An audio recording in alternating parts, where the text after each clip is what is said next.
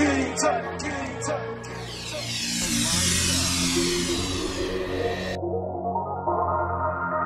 with it. Dropping nothing but bangers.